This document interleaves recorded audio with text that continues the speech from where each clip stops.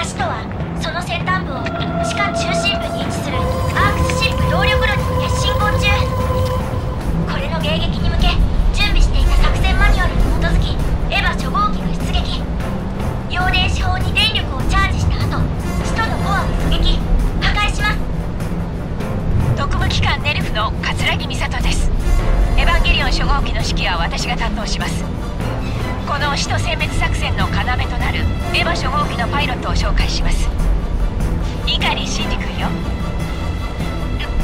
よろしくお願いします。陽電子砲にはアークスシップ内に貯蔵している97%のフォトンを電力に変換して供給します。陽電子砲の発射準備が完了するまで AIS メガネで出撃。使徒の注意を引きつけてください。アークスの皆さんの健闘に期待します。では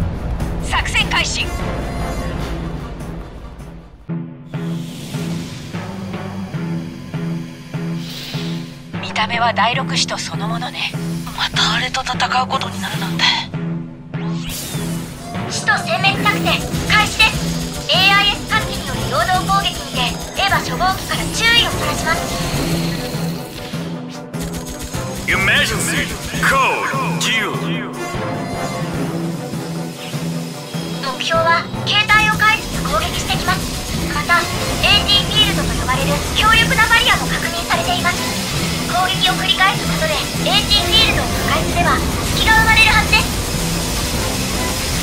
北東西に援護砲台を1機ずつ配備しました。強力な援護砲撃の準備中です。攻撃開始までには時間がかかります。また援護砲台が破壊された場合周囲に被害が及びます。ご注意を。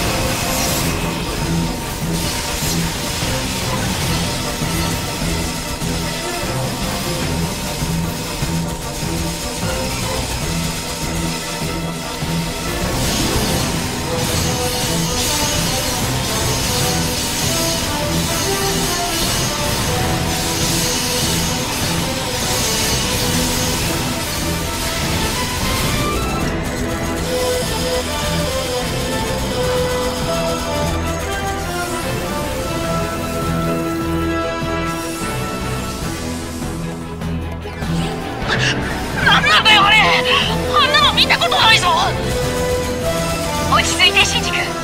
アークスのみんなを信じましょう。